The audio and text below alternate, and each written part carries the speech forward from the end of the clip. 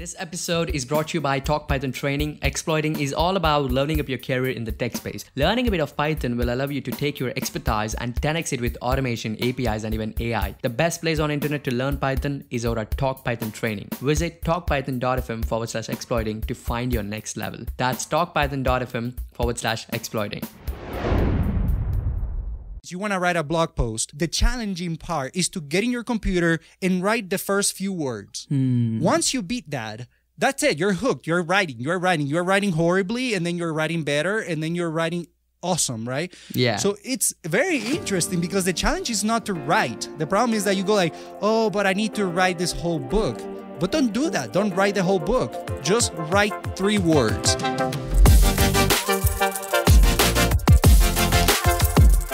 Welcome back to the Exploiting Podcast. This is the place that I love so much, where we resonate by diving deep into the exploiting actions of the incredible technical or business leaders with their transforming life learnings. And thanks to each and every single one of you for coming back every time to learn, to execute, and exploit. One other thing that I love about podcasting is that we get a chance to connect with the person and sharing their personal and professional exploits that could have a massive impact on the way we think, we act, and the way we communicate and learn with others, right? So today's guest is the author of one of the best books in reinforcement learning, Grokking Deep Reinforcement Learning. As you already know, he's Miguel Morales. Miguel is a staff software engineer at Lockheed Martin and works on reinforcement learning, missiles, flight controls, and autonomous systems in Denver.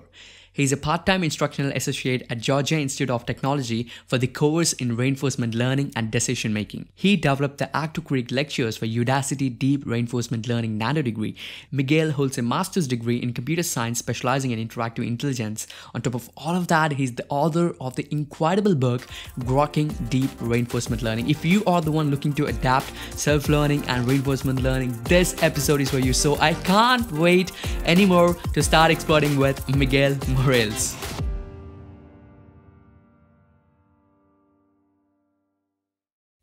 Hi. Thank, thank you for that introduction, Teja.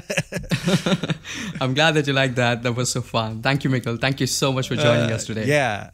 Thank you for that. I appreciate it. And thanks for your tweet, Miguel, that you mentioned that you love the name of the podcast Exploiting because you are optimistic and you mentioned that you didn't get the joke, right? so I later messaged you to understand that. So share that to our listeners as well. What's the fun behind the name Exploiting and being optimistic with reinforcement learning? Yeah, it's a total, yeah, reinforcement learning joke. So if you didn't get it, you um, it's it's because it's very reinforcement learning specific and very specific also to a you know a, to a, a particular uh, technique uh, for balancing exploration and exploitation. So you know that uh, in reinforcement learning, we, are trying to solve uh, just optimal decision making. We're trying to create agents, this in this case, computer software, mm. right, that behaves in a very uh, optimal way, right, in a really good way. In an optimal way would be the perfect way, but you know we're okay if we, if it's not optimal, if it's a little bit near optimal, right? Yeah. So one way, one technique, uh, well, one of the things that the agents need to do is to balance uh, exploration, basically the gathering of information, and exploitation, mm. which is hmm. basically the use of that information to your advantage. Right. Yeah. And uh, there's a technique that is called optimism in the face of uncertainty. Uh, and that technique, uh, that technique requires you to um, um, to initialize basically your value functions, which is a component that tells you the expected return, reward, uh, or cumulative reward that you're going to obtain uh, from a particular action, so from doing something in a particular, you know, uh, world condition. Uh, so you initialize that to the highest possible value. So you you we say that you're initializing optimistic, uh, yeah. an optimistic value function because you you say everywhere I go, I'm gonna get the highest that I can get which is not real uh, in the real world or in agent world environments, right? Yeah. Uh, but then the the second part of that uh, technique is actually that now you can exploit. You don't need to explore at all because you are always expecting the best. Mm. And then so the only thing you do is exploitation, which uh, you know it kind of matches perfectly with the the name of your podcast. Which I you know when I first saw the name of your podcast, I was like, is is this like a reinforcement learning podcast? That's a pretty nice name. Uh, but I'm so genuine to you that I didn't name the podcast in that sense. so that was a surprise from me from your end, so that I could actually speak about this when people ask me like, "What does that exploiting mean?" There, there is something like in reinforcement learning. That's the thing. so yeah, that was fun. And what about what's your favorite outdoor game? You, you're saying game, game like a com- like computer game, like what kind of game? No, that's the reason I mentioned like, what's your favorite outdoor game? Out outdoor. Yeah. Man, but I I am a, a computer person. Like what what do you mean game? well, sports. If you mean sports. yeah, exactly. Okay, so yeah. I mean, family games, I do play some family games and things like that, right? I mean, what, what am I going to do? I have two kids, so you need to play games. Yeah. Uh, so the outdoor, uh, so the, I like sports. I watch, of course, yes. I'm, uh, uh, uh, a fan of uh, Real Madrid soccer team. I watch basically uh, every single match. I enjoy that very much. Uh, that would be my yes, soccer. So yes. yeah, so what do you think? Like, how long uh, does it take to build a robot with all those machine learning and deep learning as the reinforcement learning to play the game as a human? Uh, uh, well, that's a good one. so now come out. as a human. As a human like me, or you mean like a professional human? It should be like a Uh, human. no. it's still pretty hard, but I, you know, th- there's this uh, RoboCup uh, that they they they've been uh, going on for uh, many years. I would say over a decade. I mean, they've been uh, um, uh, so they have a tournament. Uh, RoboCup is called, and many universities uh, around the world um, try to well they compete uh, uh, against so some robots against uh, the other university so you create a team of uh, i think sometimes it's like four or five uh, robots and they're like uh, different um, i'm gonna say categories Cool. uh, so some of them, yeah, some of them are you know small robots, some of them are big robots, and so on. And and I think they have they have a goal of 2050. Uh, I think it was 2050 uh, from the get go uh, of being able to compete against humans. Now you know you know those those dates are usually like a you know kind of wish list, and then you just like set set a goal that is far uh, enough so that you can work a lot, uh, and then just start working, right? Um, so you know I, I yeah it's it's i think it's far there's so many things and humans are so intelligent i mean it's just uh, such a uh, it's so we're so incredible we underestimate how uh, how intelligent even the dumbest human is Yeah, Uh, yeah, and yeah. yeah. And how about that? Like, w- I mean, in the real world, right? Um, when you see like, what's the most exciting thing that you have ever seen a robot is doing in the real world? oh that i've already seen um well I guess we would have to start by by defining what a robot is, but I've seen lots of uh, things that are ro- robotic. You know, so you have mechanical things moving that are not necessarily, uh, you know, robot human like. Uh, sort of, uh, you know, uh, what what normally when somebody says a robot, uh, uh, uh, kind of imagines, right? Um, but you know, I I do work for for a great company that does really cool uh, um, I'm gonna say robotic Yeah. uh, solutions. Um, and I've seen pretty cool stuff. I've seen pretty cool stuff. Um, you know, from from you know uh, small cars that do follow um uh you know military people in in in you know to kind of carry their weight Cool. um, their load, uh, things like that. I mean, that I've seen it in person. I mean, obviously, there- there's there are better applications. You know, if you see like uh, Boston Dynamics and things like that, it's similar to those kind of things. yeah. Uh, in person, I would say that one was pretty nice, pretty impressive. Also, to be part of, uh, you know, doing that. Um, but yeah, there there are many applications that are, I guess, robotic applications that are not necessarily robotic looking or ter- Terminator looking. Yeah, and how about that? Like, uh, what what do you think? Like, when we look into a robot, so we usually see when we see like a robot, like we usually speak about these words like AI, artificial intelligence, and the Q. It's not a human, like acts like a human. So, what do you say about it? Like, when we see a robot, so uh, do we need to think about the deep learning, or do we need to think about the re- reinforcement learning mostly? And So what what does it that include? Like what part of reinforcement learning does it takes? Yeah, it's a really good question. I say I think you know, so there are many components there, right? So if if, if you want to build a human-like machine that is intelligent just like a human that moves in just like a human and you know does so many things just like a human. There's so many different fields that need to contribute to that right? So you have the mechanical engineering aspect which is something that i have no idea right? So i don't i don't even try. Uh, it's pretty hard. That's actually very challenging on its own right? Uh, you do have the the uh, uh, kind of deep learning um, and you know reinforcement learning uh, which is the more you know brains uh, type of uh, aspect of it. Uh, there are many more, right? But uh, so if we zoom in into the, the the brain aspect of it, deep learning would be more like the, let me let me put it this way, like the the the brain cells, right? So the you know uh, like neural networks, just just like that.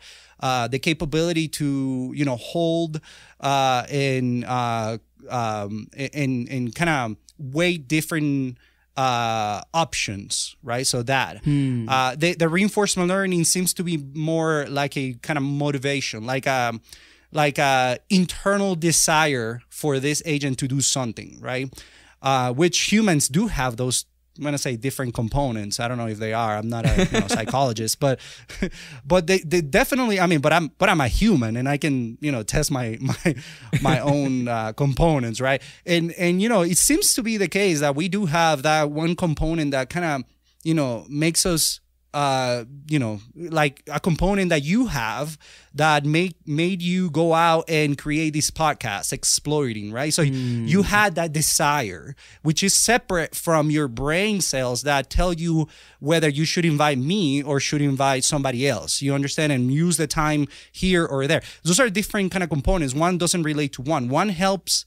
So one helps your internal goal be realized. So reinforcement learning is that internal driver, in my opinion. That's what it feels like. It's is ultimately we're gonna figure out a way to go away without rewards and have an agent have an internal kind of desire to to go forward and do things on it, on their own and perhaps a little scary but you know it is what it is perhaps their own desires which uh, we're gonna we're gonna object to that a lot right um, but but I, I actually believe that there's there's something there um, that will later many many years from now we're gonna have to be discussing in a little bit more um, uh, uh, you know with seriousness. Like okay let's okay this is not scary like silly anymore. This is a real problem. How do we figure this one out?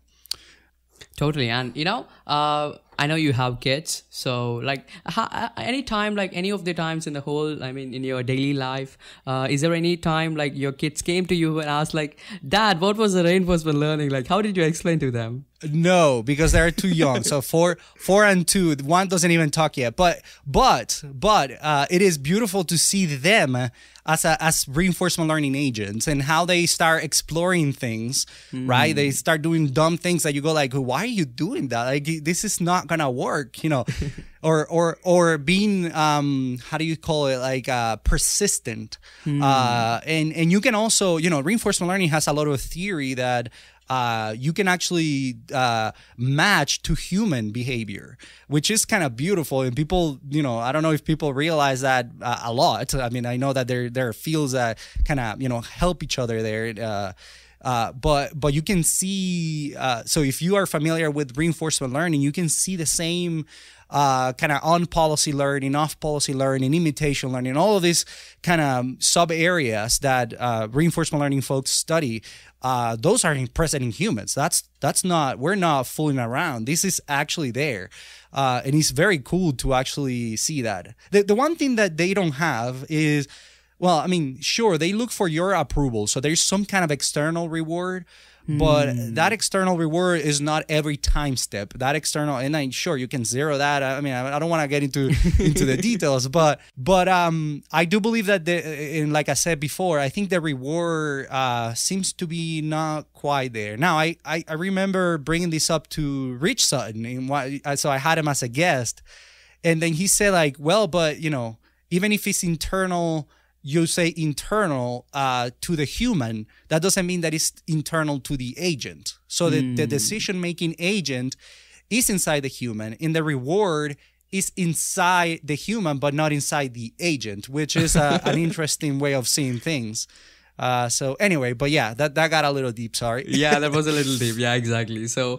imagine like as your kids grow up, uh, maybe they will like at the age of at a point of time, like maybe about ten or twelve, or or maybe at fifteen. So they will get to know about this amazing book that you have written about the reinforcement learning and the deep reinforcement learning, right? So possibly there is a very high probability that they come to you. Dad, what was reinforcement learning. So could you tell me about that? Like, how did you, how will you explain to a, a, a huge, you know, the critical topic like the reinforcement learning to kids? So how do you do that? How do you do that? Wow, that's a, that's a really good question. And I, you know, I, am a sinner in that because I usually explain it in a very complex way because I, I like details.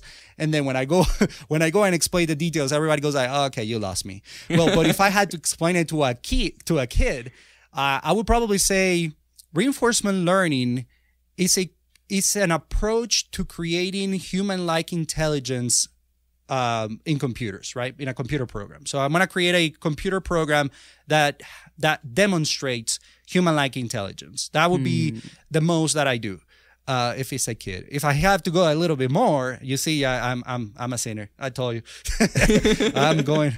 Uh, it's not simple anymore. No, but if I had to go a little bit more, I would say, you know, more. I would talk a little bit more about the, and, and I really like this from Michael Littman. Professor Michael Littman actually had this kind of separated reinforcement learning into tr- uh, three components. Uh, let's say three components, three three types of feedback that that a reinforcement learning problem usually deals with, which is long term with with short term. Hmm. So you as a human, you understand that if you put well as an adult now that if you put a lot of uh, chocolate in your belly that's going to hurt you tomorrow right? Mm. so my kids probably don't know that. If i just give them a bag of chocolates they're just going to go for it um, right? So you you wouldn't do that. They would do that because yeah. you already learned. So one of the components of, of, of intelligence there is that you learn to balance short term with long term, right? You go to the gym, you get fit, it's good for your long term. Does it's not good for today because it's boring and you know you really want to you know I don't know lay down and play a game and whatever, but you you trade that off.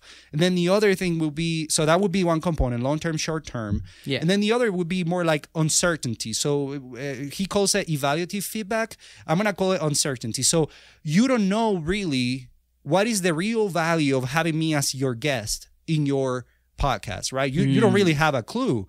Uh, you can guess. You say, "Oh, Miguel, you know, knows reinforcement learning, so people people that like reinforcement learning are gonna listen, and that's great." And this is, but you don't know the true value.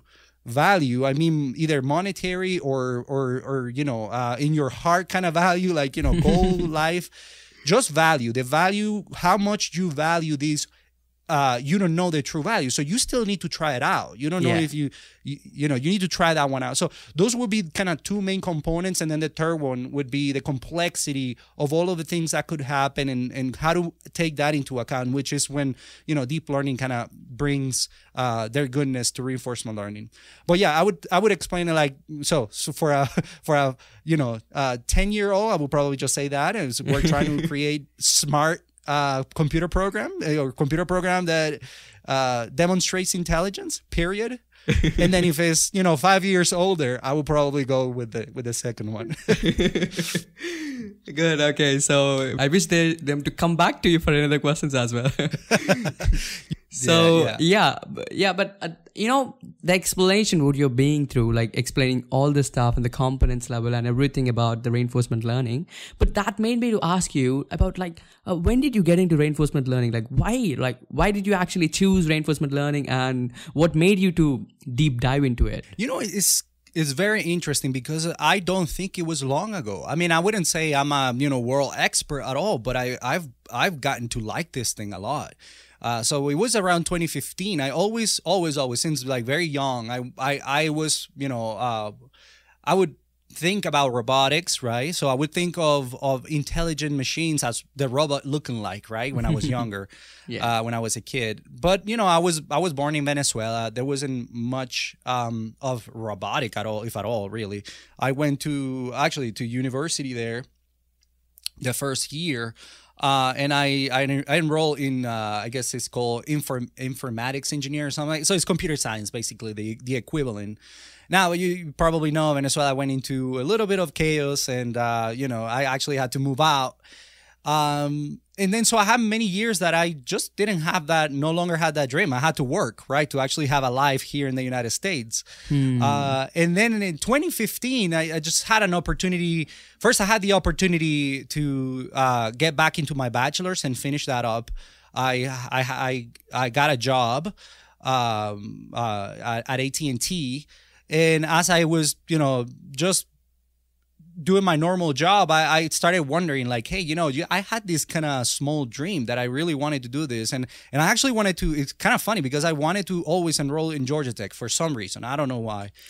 and all of a sudden, this program, the the the massive, the OMSCS came out. Uh, so uh, really mm. awesome people from Georgia Tech came up with this program to help to to basically give people like me an opportunity to do what they like doing, right? And one of the first semesters, I think actually perhaps even the first semester, the second semester of, of that, let me see. Actually, the first semester, 2015, fall 2015, I took uh, the reinforcement learning and decision making. Maybe that was my first. I don't know. Anyway, so yeah, 2015, fall 2015, I, I enrolled in this course. Uh, it was Charles Isbell and Dr. Chuck. Well, now it's Dean Isbell and Professor uh, Michael Littman. Uh, they uh, recorded uh, the lectures for the reinforcement learning and decision making course. Uh, I was lucky to have both uh, Charles and Michael uh, as basically TAs, basically enroll and and actually answering questions in Piazza. So I took advantage, full advantage of it and I loved it. I was hooked. I mean, even if we actually didn't even do much of deep reinforcement learning, we just did reinforcement learning and a little bit of function approximation, which which mm. would be the hmm. deep part. Um, but I got hooked, and then and then I I immediately applied to be a TA um for for the following semester. And and you know they picked me up and and, and ever since i haven't looked back. I mean it's been every semester. I think that's really what's uh uh, that where where I learn so much is the interaction with students. You know, the student, you know, when you have like 300 students, they can come up with really good questions that you don't know, you don't have an answer for. Yeah. And if you do have an answer for, and the answer is a little flawed, if if it's just like not complete, they are gonna they're gonna yeah. discover it. They're gonna find it. It's 300 students. You cannot uh, go out uh, go away with you know you have to know the the a, a good way to explaining this. So you take your time, obviously, not every single time you know live uh, in a in a like I'm doing in this medium. It's usually written. Um, so you have time to think about how do I answer it so that people uh, get get the the message.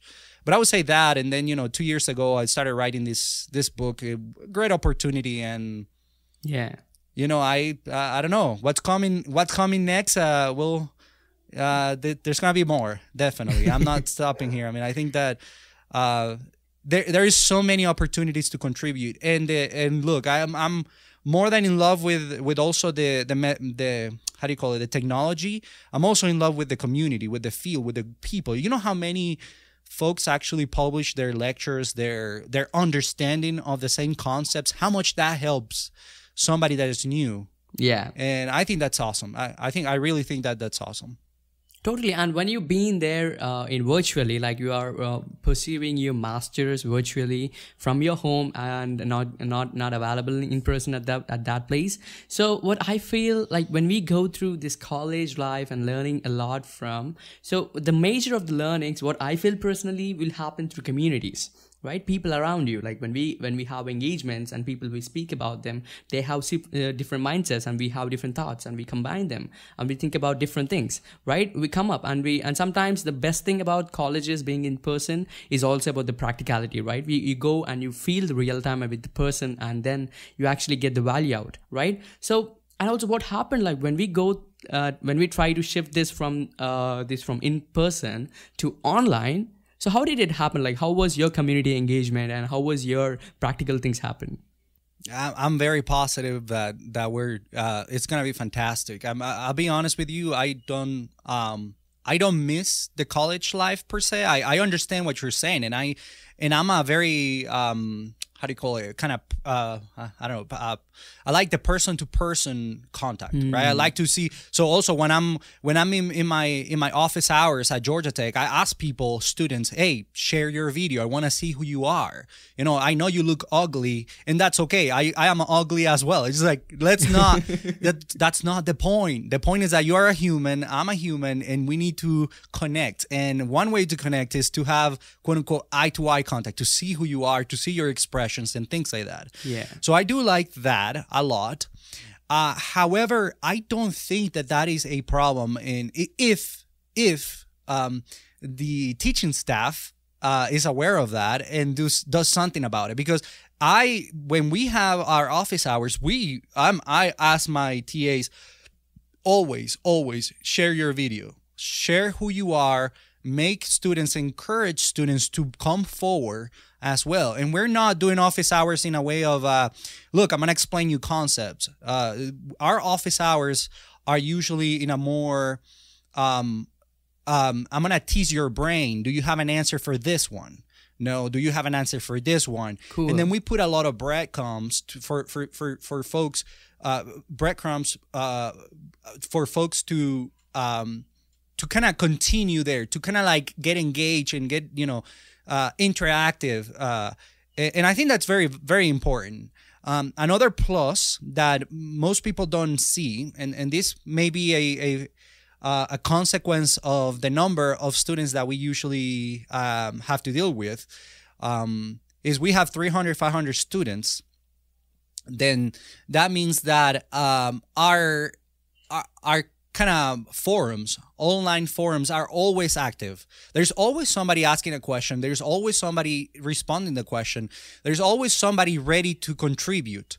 Uh, that you don't have that in a classroom right? You you only have you know monday and wednesdays at x time. That's it period. Um, so i think that the also you know when you have smaller classrooms um, uh, you you may have only like two folks, three folks that are like the ones that ask the questions. With large communities like the ones we have, uh, wow. I mean, there there's so many questions. People really want to learn, and if if students come with uh, the best intentions uh, of really learning, I think they can use an online format to their advantage much better that they can use a a um, uh, in person type of format. I really believe so. And if um, you know, I, I hope that in the future we actually look at that into. I know there are a few folks that are actually look looking into that uh, in in lot, uh, lots of uh, depth.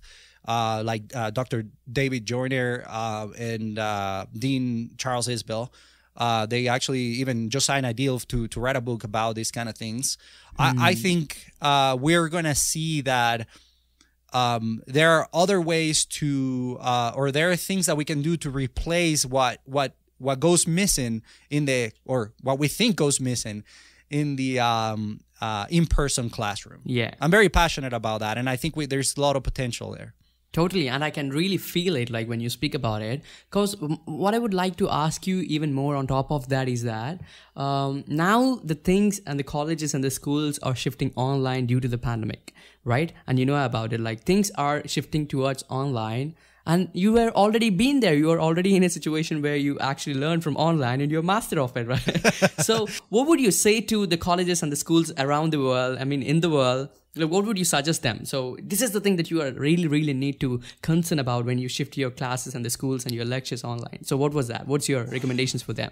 Yeah, I'm gonna say the the main recommendation is uh, share your camera, uh, and and I really mean it because when you um so I think the problem is that when once you go online, the very first thing that you do is you think and not just you share your camera, but also the students. So encourage your students to share their cameras. Not everybody's gonna do it, and I understand that. Sometimes you know I was also in my jam jams, you know, taking this, taking oh look at that, uh, taking this uh um uh, you know, student questions and so on. But the the truth is that uh, we're humans, right? And and humans, you can replace many of these things just with with the technology we currently have. Uh, so here's the thing: usually, you think uh, when you start doing the online learning, you look at the benefits quote unquote benefits, which is, oh, I can be in my jam jams and, you know, and listen to this guy talking in office hours. That's what I'm gonna do. So I'm gonna block my camera and I'm just gonna listen. I'm not gonna ask any questions. But as you go and, and do it over and over again, so I've been doing it for a few years now, you understand that that is bad because that is your brain telling you do not interact. And you know how you learn? by asking questions, by interacting, by putting yourself out there. That's how you learn. So you must get your students to do that. If you don't, if you don't do that, then yes, it's gonna be bad. It's not gonna be good. Um, but I think that our students are. Um, so we, this is my very first office hours. I always go up and up your camera, and then the students, you know, first they go like, "Who's this guy? He's crazy. I don't like this dude," and I'm fine with that. I'm totally. I take all the heat, not a problem.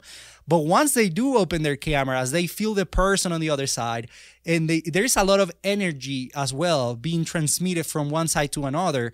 That I think um, we so I think schools are going to figure it out. It's just a matter that not first, not this first semester, perhaps, but as they go on, they're going to figure out.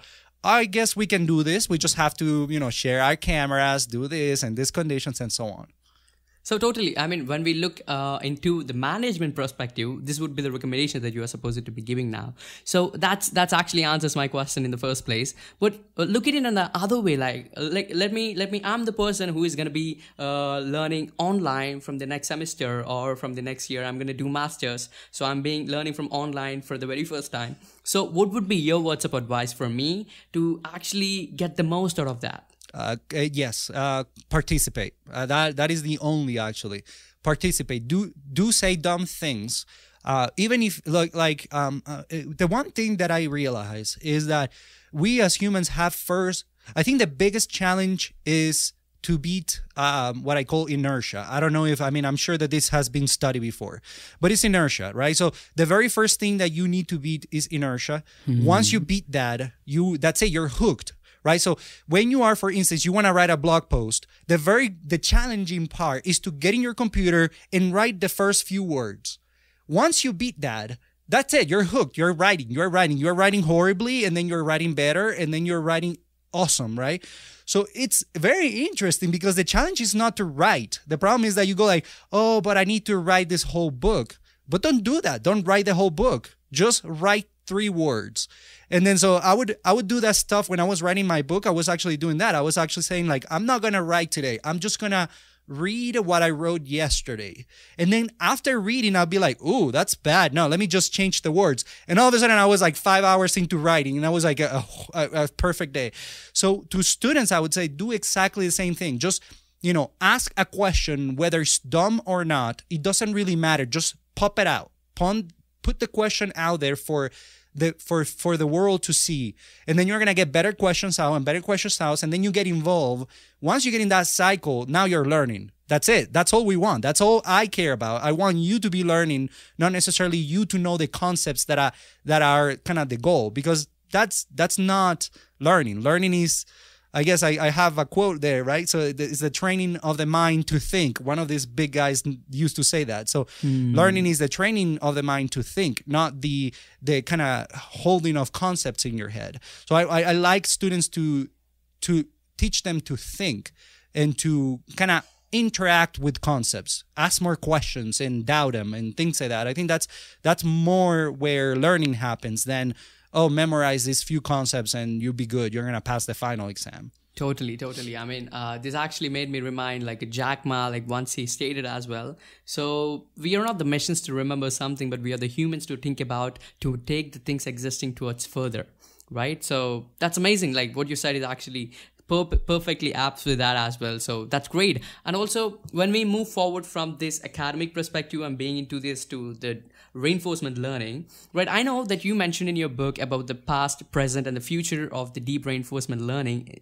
So could you tell me more about that? Like, like how was the past and how was the present and how is going to be, how the future is going to be? let's say I, I actually don't think it's a, a large history which is kind of cool because uh, i mean in reality i think we've been doing more you know artificial intelligence type of things right uh, whether it's reinforcement learning or not there are many things many components that uh, we're gonna have to or many let's say um yeah many problems that we're gonna have to solve before we can actually have a fully you know intelligent uh, um, you know computer program. Let, let me put it that way, or human like.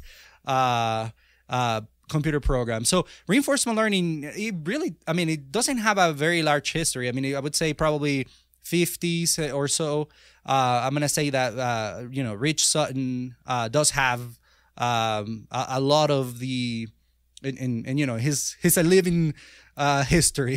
he's a, definitely a a, a, a great uh, uh, source for that. I would say he did most of the early research uh, when most people were doing just neural networks uh, or SVMs or well, neural networks got uh, was just Yann LeCun and a few other folks. So maybe remove that one. But there there were only a few areas that were you know being looked at, and I think it was mostly because we as humans want to see the thing work ASAP right? Yeah. And um, the easiest way for uh, us to see a human-like intelligence is to kind of program a lot of knowledge in in a computer program, and then just say like, "Look, I ask him a question. The question is."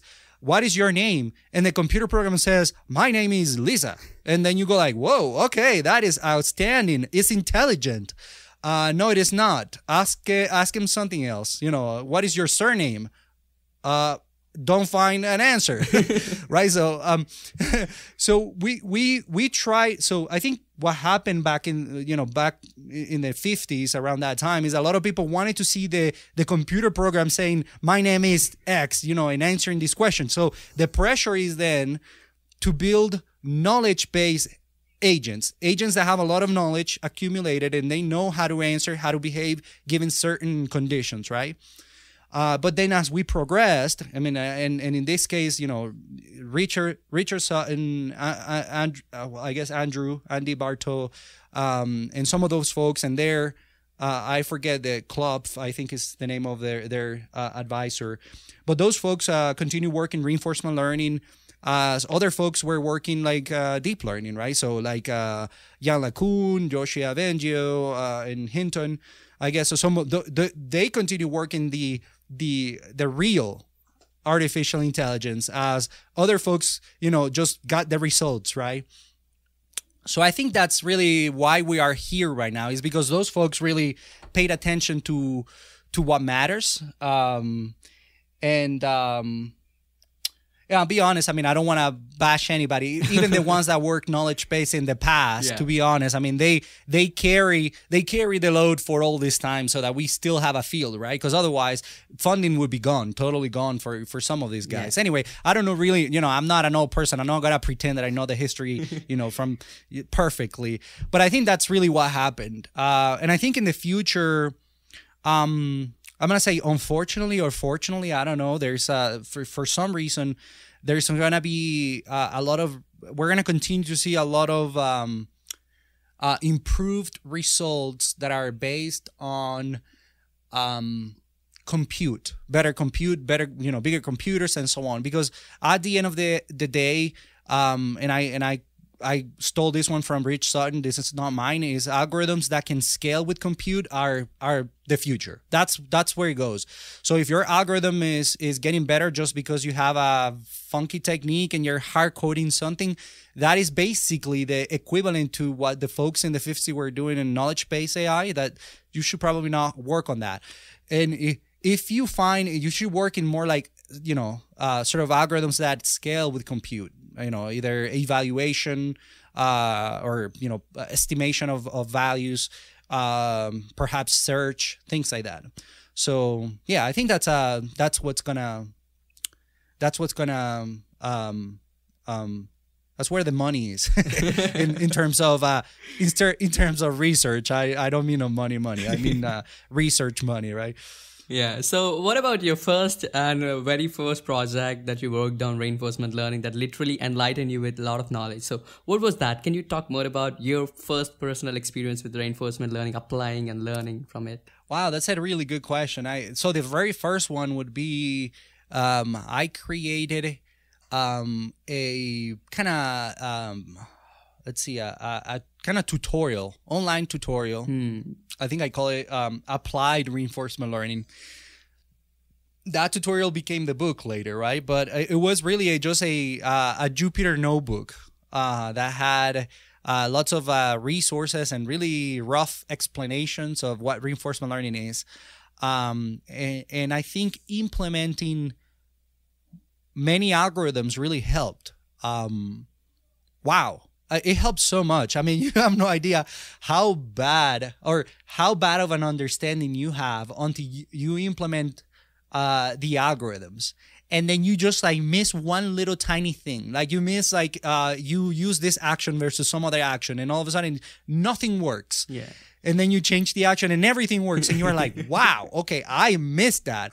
That was very impressive. So i, I would say that that implementing the algorithms more than an actual like um i'm gonna say like an application um which i i have i have those a lot more mostly work uh the applications like serious applications Yeah. that you need to really test your things um those I would say those those are good for kind of you know developing you as a kind of professional. Like you gotta you gotta produce high quality uh, software. Cool. But reinforcement learning, I think the most one was uh, yeah, just implementing as many algorithms as I could. Wow, that's that's really a good way of you know learning. Yeah. Yeah, and also when we when we actually try to learn from the research papers and also try to implement them to actually get the better understanding of the whole concept. So uh, I feel so hard. I'm being so genuine. Like I couldn't get the uh, context of the paper in the very first time. Like it takes me a lot of time to read it again, read it again, and you and then you get the best understanding of the research papers, right? So wh- what sort of approach that you follow to and actually understand research paper? And uh, you know there are many challenges. What I feel. So how do you overcome like getting? I mean breaking down the research paper and making them into the work. Yeah, you know what? How how you do it? Just reading it five, ten times. you don't. The problem is the problem is that one thinks that you can just read it and understand it, and you go like just top to bottom, and you go like, "Gosh, I didn't get nothing out of this paper. like, what's going on with me? Am I wrong? No, you're not wrong. That's the way it is. Just go again." And then you go like, whoa, okay, so I had, I, I guess, I don't know what happened. I didn't read this part before. I don't know. Do it again. Do it again. Once you read it like five times, and I mean like instead of spending five hours reading it one time, spend five hours reading it 10 times. Like go faster, top to bottom. And your brain is gonna capture still things in a better, better way. So that's how I do it. And and it's actually pretty successful that way. Hmm. I know that there are, you know, techniques and people go like, oh, read the abstract first and then, you know, make take notes doing this. And I don't know about that. I really don't. I I, I feel that I feel like it's th- there's two things, right? So you as a human, you eat to get energy into your body, right?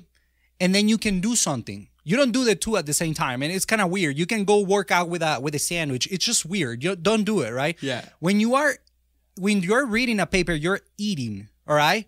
So just go and eat and then do it again and do it again. And you're fueling your body, you're fully fueling really your brain in understanding. Okay. Now you have all that energy in there. You know what happens if you don't work out? You get fat. You get ugly. okay. Don't do that. Don't let your brain get fat. Go ahead and now create. So put start coding. Start writing now. But after after you read. So it's two different things. Read first, that's ingest energy that somebody else create creates, right? And then go ahead and burn that those calories to create a good fit brain, right? So now you go into the computer and then start programming that and then go like, "Oh, I don't understand." Now you're going to run out of energy. Guess what you're going to do again? Go back to the paper, read it again. Now you consume more energy. Go like that. I, that's how I feel it. I know it's a little bit like, okay, Miguel, you're you're doing analogies for everything. Are you kidding me? yes, I don't mean to do that every time, but it does work though. It does work. If you do that, just read the paper five times, think they go try to program or code, you know, what you just read about. You're gonna run out of energy, come back tomorrow, read it again, try to do it again, and so on. And that's actually how I, I think how you can consume papers and understand them uh, pretty well. They actually stick in your brain as well. You know, like because you implemented it, you you know it. Yeah, and those those analogies are actually so great. Like when you mentioned like you're giving the analogies for everything, but when you give such analogies, uh, it actually makes me you know understand it so better. It actually gives me a vivid understanding about what the actual con- context is. And also as you mentioned uh, about when we actually go and read about it and we read about it and then you get that and you actually need to implement to actually burn the fats right? And i think uh, most of the times when we go through the process we forget to digest it right? What you mentioned is that like we need to digest that. Well done, sir. Yes. absolutely no, no, you got it. You got it straight because a lot of people also think like I'm gonna have the paper and then you know I have a bunch of papers here. So let's say that I'm you know I'm reading this one curriculum learning for reinforcement learning domains. Ah, I'm gonna read this thing. I'm gonna code it right now, or I'm gonna read it and immediately go and code it. No, no, no. Let it digest. and Let it sink in your brain. Don't do anything. Let that all that material sink in your brain. Come back in a few hours, and then now try to do it. It's completely different ball game. Yes, Absolutely. Well done. Yeah. So, and also when we speak about your analogies, they are absolutely amazing because I've been going through a book, and one of the best thing that I really uh, found in the very beginning of the book is about uh, the Chinese farmer uh, analogy, that the parable, and that was like good news, bad news, what we can say. Like that was so fascinating, and that was the best ever intro for any topics that I ever read. So I would love to really hear from you. Like, can you just tell me about more about that analogy and how could you relate it to the uh, reinforcement learning? Because it's related to life. I think this is really, uh, and, and, and in this one in particular, is because it's evaluative feedback in my way of seeing. it. So the the parable goes that the uh, uh, uh, well, Chinese farmer. I don't know the details actually exactly. I usually look them up, but but in, in the, the the bottom line is that the the guy basically has a lot of fortunes and misfortunes and uh, you know people around say like hey you know that's really bad luck. That's Yeah. really good luck. You know depending on what happened in in, in his life. And he was like you know i don't know. We'll see. But it was it, the, the funny case is that every misfortune was followed by a- by a good fortune and every good fortune by a misfortune. And it seemed to be related. Like you know the reason why this misfortune happened is because of the good fortune that i had before and so on. So uh, you know, the guy loses the horse, and the horse then you just goes away, and then it, the, and then it's like, oh, so bad, you lost your horse, and then three weeks later, the horse comes back with five more horses. Yeah. Oh, that's good fortune, and so on. So the story goes on like that, and and you can imagine that. And I think the the uh, the one thing is like we are very so it's evaluative feedback. We are very concerned with humans are very concerned with looking for the value of things, right? And you know we make a big deal out of it. Like oh you know i lost this this is terrible i i got fired. How many people have you know gone through things like that? Like you know oh i got fired and all of a sudden i found my company and i'm super successful right? Yeah. things like that. So um the message there is that is that we really don't know. We really and i don't really think we will know ever. I mean i think this is life is designed this way so that we enjoy it right? So at one point you get like you know like the chinese farmer it's like, i i have no clue. I'm just gonna live life right? I'm just gonna be in the present and enjoy the moment uh, and i think that's the message. Now for reinforcement learning is more applied to the evaluative feedback but it's a little bit you know extra. I usually like to also tease uh, human brains so that they become happier Yeah. humans right? Totally. Uh, and also like let's take it this way. Like imagine uh, tomorrow is the day where you're gonna train uh, 20 people about the reinforcement learning including me.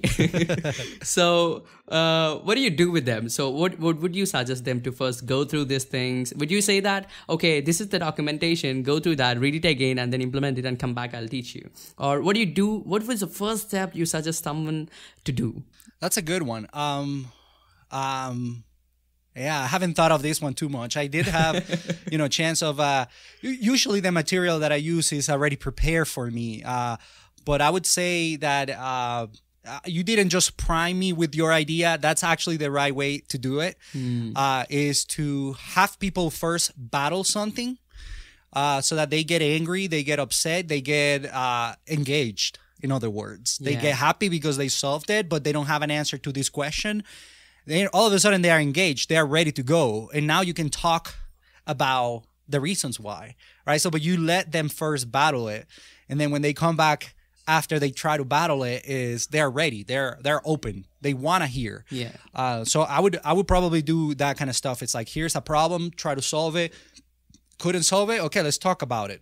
and then you know some folks are gonna yeah so I, that would be a really good technique i you know obviously you know that was that was your idea but it's a good one by the way Possibly. um uh, you know traditionally if i had to go do it at uh, you know at work you know my job then it's a little bit more kind of traditional type of company. I probably start talking and showing some slides and then put a problem and then talk about the problem and so on. Uh, but i think the the optimal will be that it's just like welcome here's a problem. Can you create a computer program that does that? Absolutely. I mean, well, we usually like we learn the things when we could only able to break them. Yeah, in, in addition to that, I think there's another really interesting thing is that we come to this world, um, and there are so many things. You know, humans before us, before our generation, have done so many incredible things. You know, I have a monitor, I have a microphone, I have a headset. I have no idea how they work. I really have no clue. I could not create one of these if the people that create headphones, you know, go away. Like who's gonna do that? I'm not gonna be able to do that. Uh, and then so a lot of the times we also uh, assume that there are things that are not worth um, repeating right? So i think is that there's an evil saying that says like don't repeat yourself or you know don't reinvent the wheel. No don't repeat yourself sorry. Is the don't reinvent the wheel. Um, for learning that is a horrible horrible idea. Yeah. you have to reinvent the wheel. Go ahead and reinvent it because then other otherwise then you're saying like you don't have to learn about what's inside the car. You just have to learn about something else. Innovate. Yeah. well i mean i need to learn about what's inside the car so i can innovate in the car aspect right? Or you know i'm you don't need to learn about space and what everybody has done about space. Just you know innovate. Yeah. ah that's stupid. Don't do that first recreate all the silly algorithms that are out there and then try to create something else and improve it and so on. But always always i think the learning has to come with um, a little bit of um, let's say uh, like um, let's say simple kind of duplication of uh, things Absolutely. That's that's amazing because this is one of the most frequently asked questions that I to many people when when I go through something. So I'll usually get the recommendation just saying that don't go through that, just apply that because we at the end of the day what we're going to get is a result. So you don't need to go through that. so but what fascinating is when I gone through the actual uh, you know Markov chains into the deeper and the logistic regressions and the SVMs and everything when we go deeper and understand the mathematical things, why I realized like I'm using in a better way than the usual thing, you know? Then I got to realize when you know the crux, you're going to use it the best way that you could. And also about uh, when we think think about the deep reinforcement learning, uh, we usually don't see uh, people talking about it much, right? When, we compare it to supervised and unsupervised and deep deep learnings.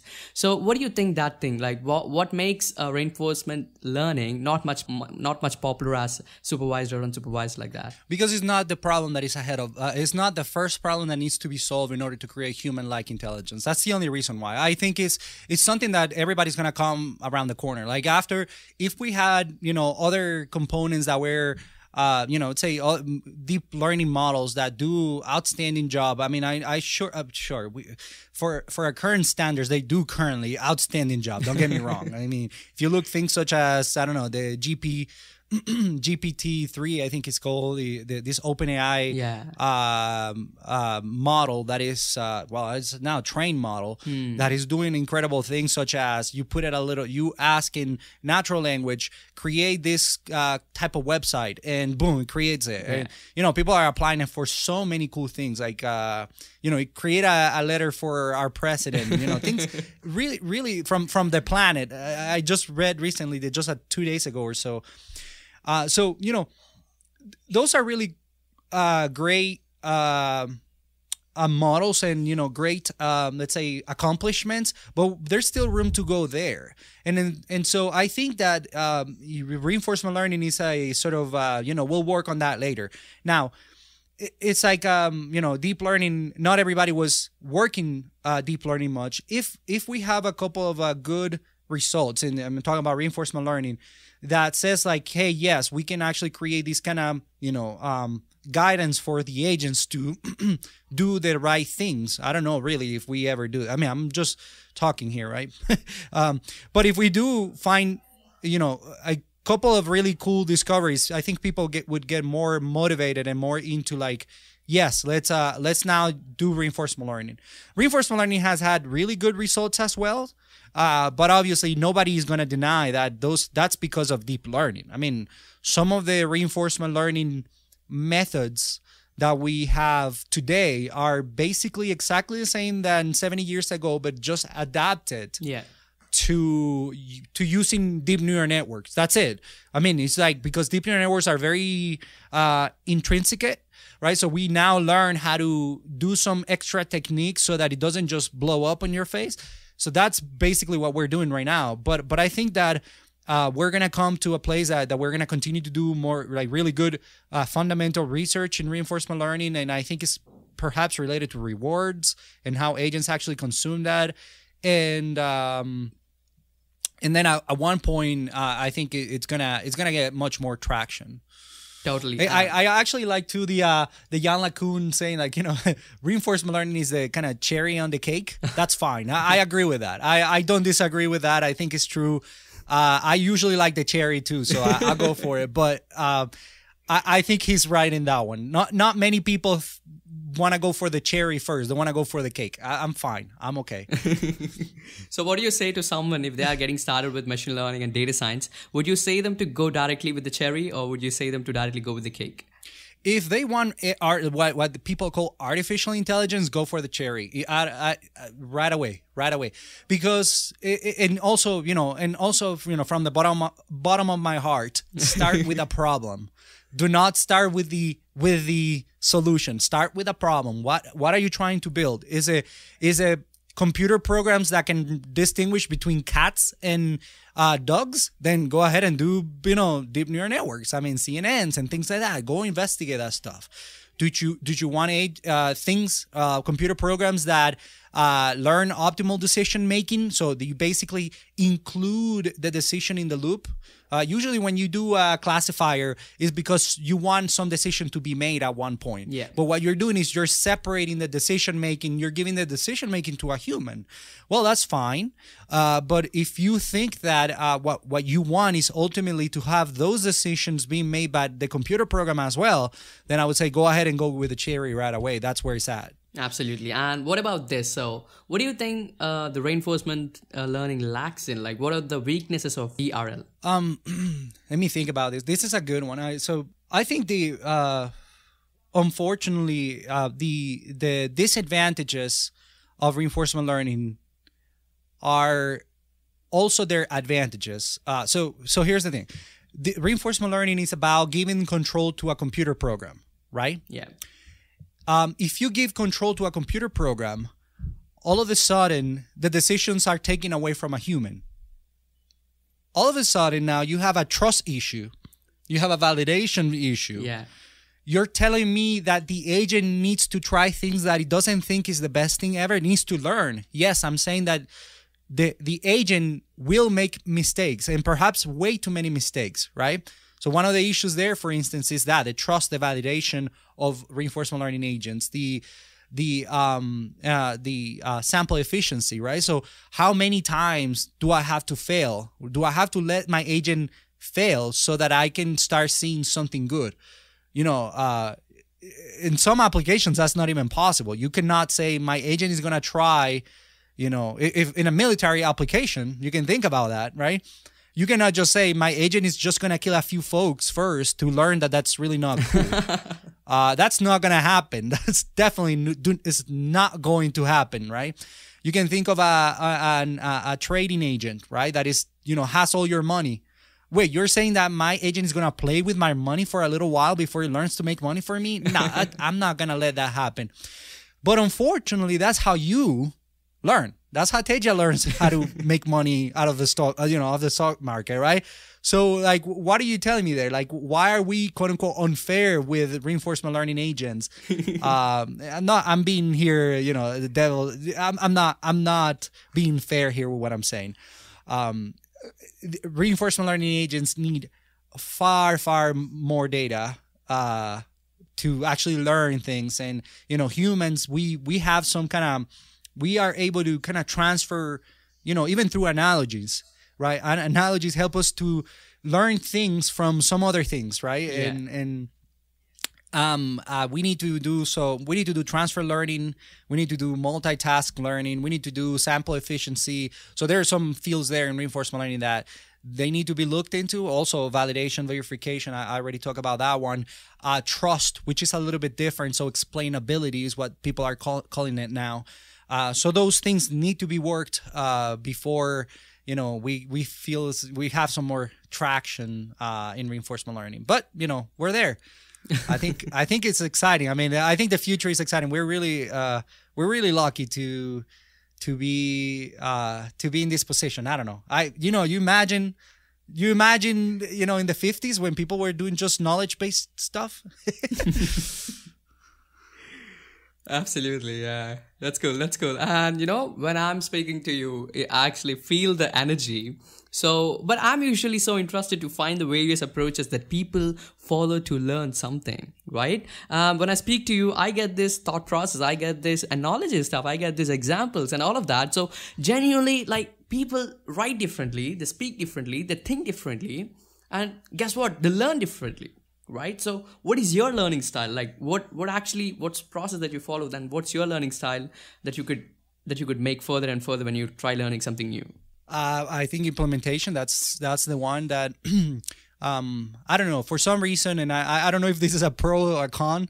Uh, I realize that uh, oftentimes, even if I read a paper and you know I see some results, I know that most of these folks are trying really hard to get results that you know gives them into a conference. So I don't trust them from the get go, right? I go like, okay, I need to see that you, what you're saying is true. Let me see if I can replicate your results and so on. And it sometimes it's very challenging. It's actually really challenging to actually um, you know, do that. I, I think learning wise, um, that's how I learn. I just try to implement it and then kind of understand, you know, what you're doing and, and things like that. I'm I'm also a very visual type of person, and um, I think that helps me a lot, right? To try to draw things and see components go from one way to another. I think that's also uh, very helpful.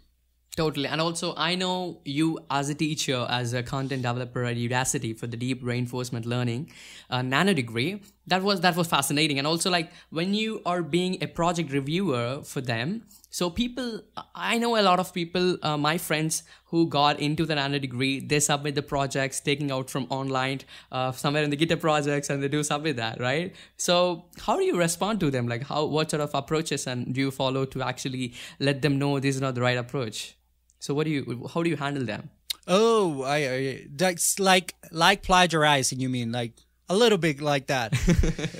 well, so you know, so uh, is a is a very difficult topic because you know, I mean, I've been in education a lot. Um, I'm I'm kind of ruthless at that. Um, I uh, I usually I'm extremely I'm horrible at that point. I actually let people cheat in my course until the last day of school and then I report them. and then they think they get an A. No, I'm serious. They think they get an A and then they just get an email saying like you're out of school because you cheated three times for your three projects. So I do these kind of things that I I think are really the proper way. I I don't have a heart for people that do that because they are not being dishonest to me. They're being dishonest to themselves. And I think those those folks um, are very unfortunate. I I kind of understand. I mean, I'm, I'm a human too, and I understand the kind of, I'm going to say this like bootstrapping from others' work, right?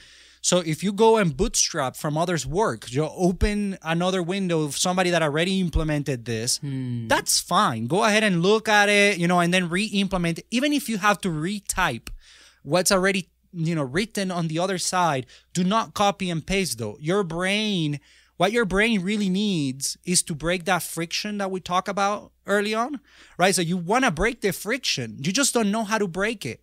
Yeah. So go ahead, sure, open the other thing and break your inertia, right? Break it by just looking at somebody else's work and then bring it over to your side and then close that window. You immediately are hooked because now you have something. One technique that I use a lot is that I never have my algorithms not running. So even if they're not doing the thing that they are supposed to be doing, I always have them running so that I can always play that button and see what happens and then have a reason to continue forward, right? If you don't have if you have something that is totally broken, you're very likely to go like uh, let me just look at somebody else's solution, perhaps.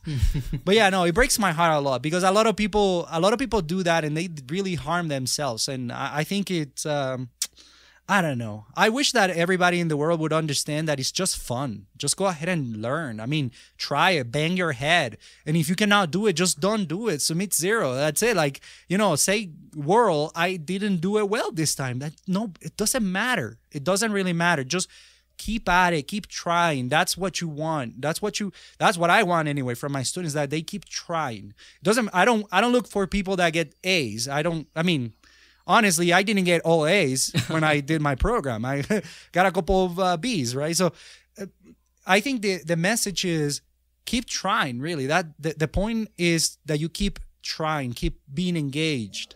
Um and you know hopefully i i would hope that a lot of people at least you know try to try. Uh, uh, because ultimately i think that would be that would be a, a better that would make a better world you Yeah. know i think you know people really trying their best with their hearts right? Now i'm not talking about just everything Absolutely, yeah, I totally get that. I totally get that. And you know, I, you are also being head teaching assistant and also an instructional associate, um, where you get a chance to communicate with the students, right? You get a chance to explain them. You get a chance to look at their thought process. You get a chance to actually understand the way that they solve the problem, right? So when you actually start communicating with them and trying to solve their problems, so what are those common mistakes that you see uh, your students are making, maybe in ML or maybe in RL or any other things? So specifically, let's talk about reinforcement learning and machine learning. so yeah in reinforcement learning uh there so i, I think uh, I mean, there are many. uh, so I would say that one of one one of them is uh, um, um, oh, I don't know if you want specific cases though. I I, I don't know if because your question seems more general, but uh, you know, I, I I right now I have like specific cases in my head like you know like mistaken value iteration which is a specific algorithm uh, for a reinforcement learning algorithm because a lot of people call it model based reinforcement learning but it's just so confusing and it's not good for students to think of it as reinforcement learning because it's a planning algorithm. So those kind of little things i think you know a new person a, a person coming to reinforcement learning has a big challenge which is it's a lot of discrepancy on the on the way that people name things uh, and and I and I don't know if it's because it's not being really standardized. I, I would say Rich Rich Sutton's book is the standard, is the gold standard to me anyway. Uh, so we should all try to use their. Uh, I mean, Rich Sutton and Andy Barto, sorry, um, their book. Um, you know, to kind of like, uh, or, or their book, sorry, their um, kind of terminology, right? The way that they explain things and so on. But you know, there's some things that I feel that my students would understand better if I explain them in a slightly different way. So I think that those are those are the things where you know I would say like quote unquote common mistakes that people make is that they come in they read they read a blog post right and then they say like oh I read this in the blog post and you're like yeah that blog post is not correct so I'm sorry but it's not right and uh, you know it's kind of fortunate because you think that you you go online and you say like oh but it's a blog post. It has to be right. You know, no no it is not.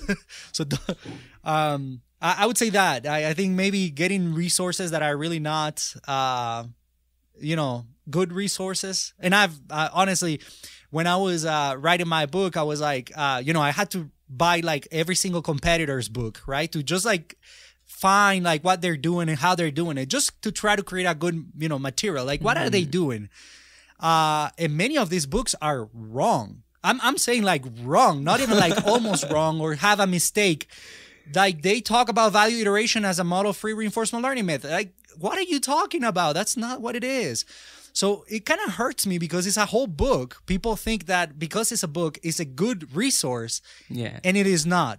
Uh i think that would be probably the main if we can if we can abstract it away and make it not a specific case but as something more general i would say looking at at uh, anything published as gospel that is don't even trust me. I don't i don't want you to do that. You as a student need to get many many many different resources and learn from multiple uh, you know well multiple sources in this case so that you can actually have a really good understanding your own understanding uh, of this. Or maybe that yeah.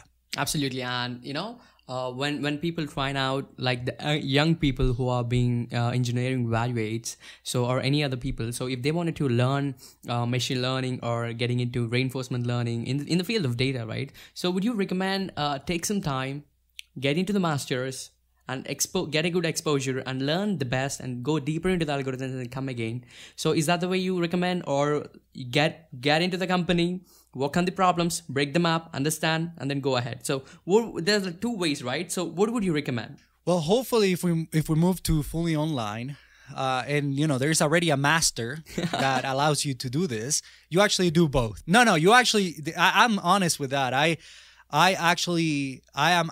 I'm, I don't know. I'm say I'm lucky. I mean, I'm not young. I'm I'm 36 actually, just turned uh, August 4th. So I'm I'm not super young, but I've been you know doing masters uh in for well first you know my bachelor's in Venezuela, then I worked, then bachelor's here, then I worked a little bit, then I started just working and studying at the same time with uh with a master, saying you know what's ahead. I'm not I'm not stop. I'm not done. You know I'm I'm, I'm not stopping anytime soon either. Um, so I think that that is uh, you get a lot of uh, really valuable things from both sides. You know, like when you when you go to a company and then you go like, oh, you know, I know about this algorithm, and then uh, they ask you questions that doesn't questions that are not relevant or not talked about, for instance, in a school, like how do I trust that algorithm? Oh well, I have no idea. so now all of a sudden you have to learn how to you know what's what's going on in the research of uh, explainability. Because for us to actually release this particular agent we need to actually uh, uh you know kind of package the agent with some trust component. I, what but trust is subjective. What are you talking about? Right? So i would say that um they they're not uh exclusive mutually exclusive. You don't have to do one or the other but i would say go as far in both in in both. So go as far get be the the top professional in the world and be the top academic in the world. Uh, i think it's possible because uh, obviously and this is only with the caveat that you're doing exactly the same thing. I mean i'm lucky enough to to be doing reinforcement learning at work in my book at georgia tech and you know when i was studying. And if if i continue to study i would be doing reinforcement learning as well.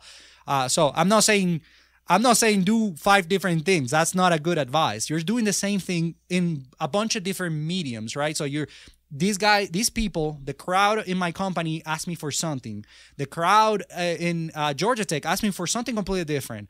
You know, if I was doing research, I know that I would be asking asked completely different questions, right? So I think that that is, makes you much much stronger at the one thing that you do, which is in my case reinforcement learning. Absolutely, yeah. That's that's so clear. I mean, what I get from your words is possibly that you gotta choose the best of all right? You gotta be the intersection of best of all of that like you from being from the academia you take the best and you being from the workplace and you take the best and you learn it right? What what about if someone ahead of if someone is actually getting into one or two two masters uh, in in data science? So maybe in georgia tech so they're trying out to get in from online as how you did. So what would you suggest from suggest them? Like what sort of steps that you have to follow? All, uh, of course we're gonna go through the web page but it's so good like if you could actually explain that to the listeners like how they can actually uh, reach out and what are the process they can follow up to actually uh, get into the online master's degree program at Georgia Tech? Um, so before you get in, uh, there's really not much to do um, uh, other than you know try to get in. I, I'll be honest with you, um, the community once you get in, the community inside is wonderful, wonderful, wonderful. We have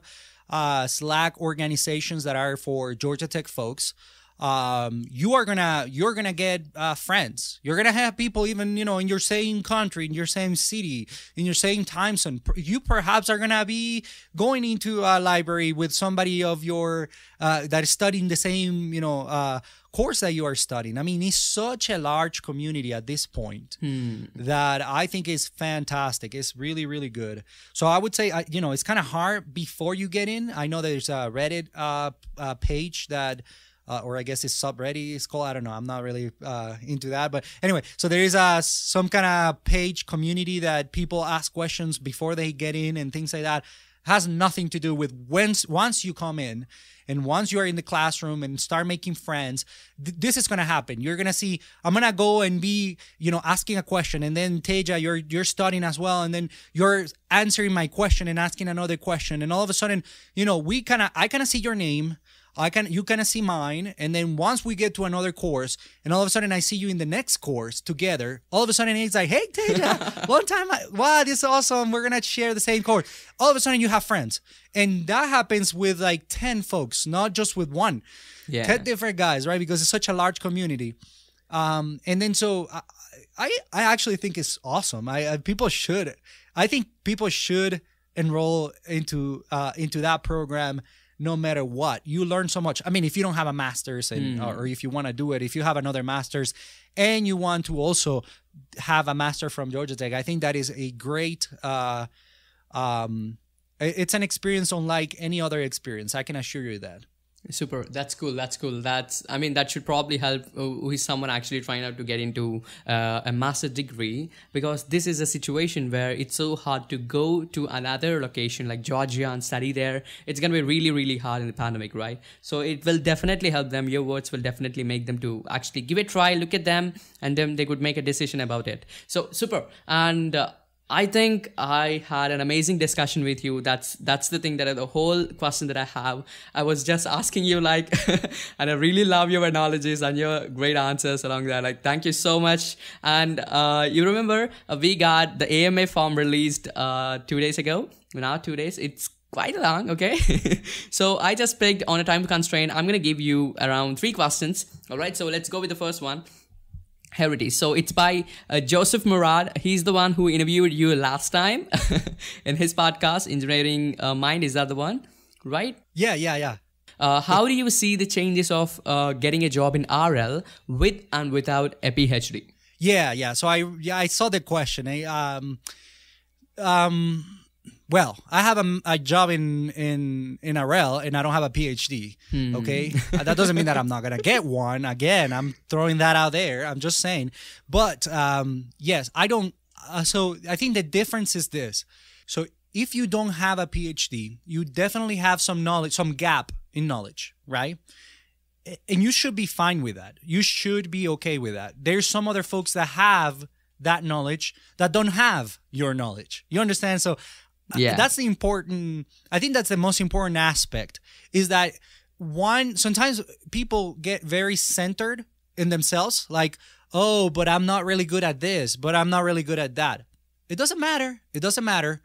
You know, just go ahead and and join forces with folks that you know know other things.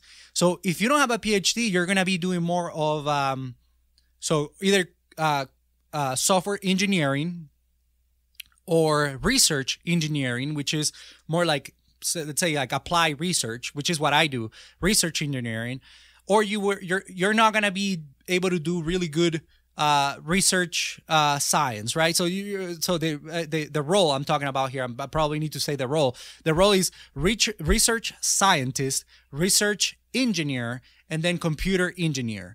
If you don't have a PhD, you probably won't be doing you, you won't getting be getting a job as a research scientist. You'll be you'll be getting a job as a, either a software engineer or a research engineer. Yeah. Now try to be really good at those things, right? So just try to be good at those, um, which I think is valuable. Uh, is not it's not the same thing as having a PhD, but again, you didn't spend five years of your life trying to solve things that those folks did. So don't don't think that you could. Um, and and I and I think that you know that's a a, a big thing that lots of folk. Uh, so look, I think lo- a lot of people limit themselves because they don't have their full you know they say like oh when i become i don't know like level five that's when i'm gonna be i'm gonna do what i love. Don't do that. Don't do that. Try to get that job that you love. Try to get that job as soon as possible. Uh and do your part you know and I think uh, in my yeah, in my book somewhere in the, at the end of the book, I said something like, you know, it's like a choir, right? Like everybody's singing their tone and stuff like that. Just don't feel that you need to sing the entire thing. Like you know, you're not the star. Forget about it. You are a single part on the entire community. So just be happy with that. Now that be that all being said, uh, I think that if you can get a PhD, you should. I think if you can, you should. I think it's uh, there is a lot of really beautiful things in there, and you should. Great, great. Uh, that's that's so really good. I mean, I couldn't even you know uh, express how how well it was said, but that's amazing. So, and then the next one we got: uh, Can we express a fake news detective problem as a map? The agent is rewarded for detecting fake news from real ones, where the environment can be Twitter. Uh, I, I guess we could. I you know for some reason when it's a, a, a matter of uh, kind of detecting things, um, I, I would probably not use reinforcement learning. I mean, if your problem is just to detect fake news from you know real news, um, you know, there. If you think about it, is there decision making there? Well, sure, you can kind of box it as a decision making problem, but it's really not a decision. It's a detection, right? So Yeah. it's a perhaps classification. It's perhaps a you know. So it's a it's a I think it's more a supervised type of uh, learning problem or uh, or even some you know aspect of unsupervised that you need to extract some features there that are common and stuff. But there's no decision making. So i would advise not to go that as the first route. Now can you do that? Yes you can. Uh, but i don't think it um, you know i mean you would have to ask lots of dif- different questions. When i when i have to design a, an environment basically or or make a problem a reinforcement learning problem i usually go first with um, you know, it, believe it or not, you just look at the definition of an MDP, which is a very basic, you know, thing that gets that that that people learn in reinforcement learning. It's a Markov decision process. Well, in reality, I do POMDPs, but anyway, I don't want to get complex. And the the MDP is, you know, has states, actions, rewards, and so on. So what I do is I just go through each of those and then create my states are going to be this my actions are going to be this my you know rewards going to be this transition and so on and then i go and basically play the game play the game i become the agent and interact with this environment and usually you can you know you can frame many problems into that framework Super. Yeah. And here we go with the next one. So you have uh, another one. So I would be really interested to hear more about the research that is being done at Lockheed Martin in regard to reinforcement learning.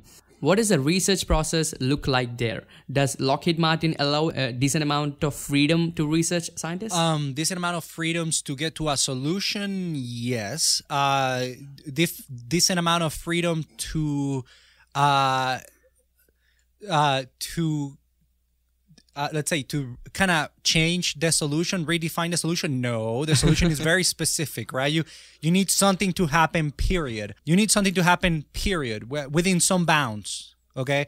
Uh and things cannot happen period. So uh you know because of the application applying uh reinforcement learning um uh, solutions which have a lot of uh, you know uh, you need to accept that they need to uh, interact with the environment whether they are optimal or not. So meaning they need to learn they need to make mistakes. Uh, in a military application that is really really uh, uncomfortable discussion. It's a really uncomfortable discussion first and it's actually very challenging as well because you know you can get in trouble in big trouble. I mean it's not even i can get in trouble just by saying you know that right? Uh, im- let alone a company. Imagine a company um, trying to get a solution that doesn't get it right. So there's not much freedom in that area, but there's a lot of freedom to get there. It's just that you need to make sure that uh, things go exactly as planned. And, and I think that's a good thing though. I, I don't think that's a that's a bad thing. That's a good thing, because that, and that's why I think that you know um, academic and industry are two completely completely different ball games, right? yeah. you have different constraints in here and then there you don't have constraint constraints so if you want freedom you know you become a professor you do whatever you want right the, but if you want if you just want things to to work you want to see things working uh then then there are constraints and lots of them That's cool. That's beautifully said. And that's the end of this conversation with all the questions that you had. And you, our answers, uh, literally blew my mind very honestly. They were so deep and they're so vulnerable. And thank you so much for being so transparent as well. so, that's being said, yeah. So, would you like to share something to our listeners? That's a very huge takeaway that you could take away from this conversation. Would you like to share something? I, I'm just gonna thank you. Your your answers were really interesting, though. I mean, you actually, I guess you you do work a lot before, uh, uh, you know, asking questions and things like that. It seems that all all of the questions seem to be very well connected and prepared. So I, I actually enjoy this time a lot. Awesome. Didn't So- realize it's like over an hour. My goodness, I'm having fun. But no, thank you, Teja. I, I just appreciate uh, appreciate uh, your your work uh, prior to to this uh, podcast. Appreciate it. Absolutely. So I just frame up a few questions for you, but the connections I didn't know that just comes in because uh, your conversations, your answers are so much uh, deep, so that I could connect back with my intention, so that we could frame a beautiful conversation. So that's how it went up. So that's amazing. Uh, thank you so much for that. So and also a big takeaway from this conversation to the listeners is that Manning is giving away uh, free books of I mean maybe about three or four copies about of uh, reinforcement learning so they should definitely check out the description about taking um, Miguel's book.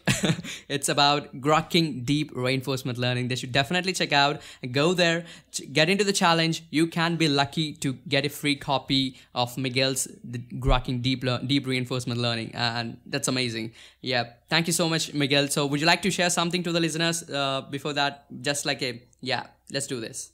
Uh, no, I mean, I mean, I hope you you uh, get the book. I actually put lots of hours in there. I think you can learn a lot out of that book, and uh, you know, give me your feedback. I, you know, I usually say is I'm, I'm a reinforcement learning agent as well. I learn through rewards and you know feedback, just feedback. Give me the feedback. Let me know what you like out of uh, you know from the book, and uh, I'm sure that we can make it better. We can make it worse. No, we're not gonna make it worse. No, we can we can we can tune it uh, so that uh, it is better and better each time. I think Yeah, yeah, uh, yeah. I- my hope is that people really learn from it, really use it and learn. Yeah, and I can actually feel that from the actual descriptions of the book. Like in the manner you your words are so concise and they're very vivid. So and also what I get from that words and also when I'm going through a book, uh you should definitely check out the analogies what Miguel is making there. They are full of fun and they are actually full of information. You can you can literally understand them with such an analogy. So definitely, I, I would highly recommend it. If you have a chance, if you have time, uh, make sure Miguel you should add even more uh, analogies with full of stories and all of that. so that should help us. By the way, many many or most of those analogies are real. So even though I do, uh, you know, talk about my daughter and things like that, I I actually mean it. Those things happened. Uh, but yeah, and and what I was trying to do is mostly to to to give people their so the opportunity to think about their own uh, lives and how to you know to see that reinforcement learning really applies or many of the concepts there actually apply to their own life. Absolutely, yeah. Yeah, thank you so much, Miguel. It was an amazing conversation. Uh, the energy what you are given and you put in will be definitely having a value for it. Will be definitely uh, the listeners would be taking something learning from this, and they can actually implement that. So possibly make sure you digest your conversations, and then you move forward with the uh, execution, just like that. So thank you so much, Miguel. Thank you so much for joining us. Thank you so much for being here, and thank you so much for the giveaways. Yeah, a huge thank you for all of this. Thank you, Teja. I really appreciate it. Thank you.